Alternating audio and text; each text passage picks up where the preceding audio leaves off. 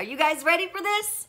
I am. Oh my word, guys. If your face is feeling red, if you're flushed, dry, and just la dull, the pink mask is gonna hook it up, it's gonna brighten it up, and you are going to absolutely love it.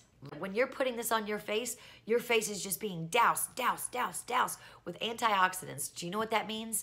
You look like you're 12 when you wipe it off. This is a love tub.